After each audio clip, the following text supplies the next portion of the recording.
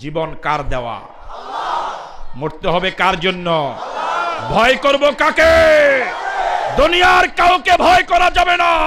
ইন্না সালাতি ওয়া নুসুকি ওয়া মাহিয়ায়া ওয়া মামাতি লিল্লাহি রাব্বিল আলামিন। আমার সবটা হবে কার জন্য? রাজি আছেন? যদি জীবন দেওয়া লাগে, জীবন দিতে রাজি আছেন? কারা কারা রাজি? দুহাত তুলে দেখান।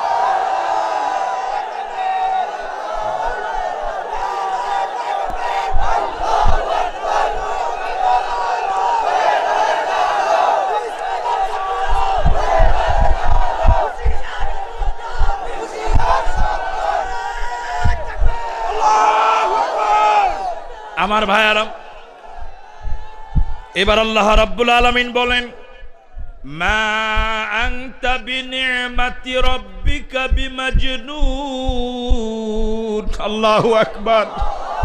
আল্লাহ রাব্বুল আলামিন কলমের শপথ করে বলেন কলম দিয়া লেখকরা যা লেখে তার শপথ করে বলেন, নবী হে, মা আংতা বিনিমাতি রব্বিকা বিমাজনুন। আপনার প্রতি আপনার রবের বড় দয়া যে আপনি পাগল না।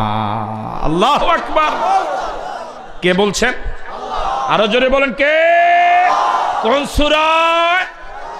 কত নম্বর সুরায়? কত আয়াতওয়ালা সুরা?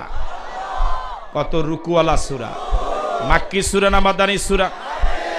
আমার ভাইয়ারাম চল্লিশ বছর ছয় মাস পর্যন্ত রাসুলের উপর কোরআন নাজিল হয়নি। ওই চল্লিশ বছর পর্যন্ত আল্লাহ নবীর একজন শত্রুও ছিল না। সঠিক? এত হাজার হাজার যুবক, আওয়াজ এত অল্প, আমার বড় সরম লাগে। কোরআন নাজিল হওয়ার আগে রাসুলের কয়জন শত্রু ছিল?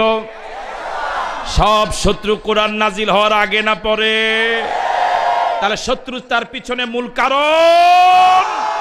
যেই দাওয়াতি জীবনে কোরআন আছে, ওই দাওয়াতি জীবনে বিরোধিতা।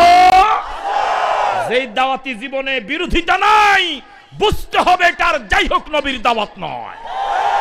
ঠিক আছে কথা?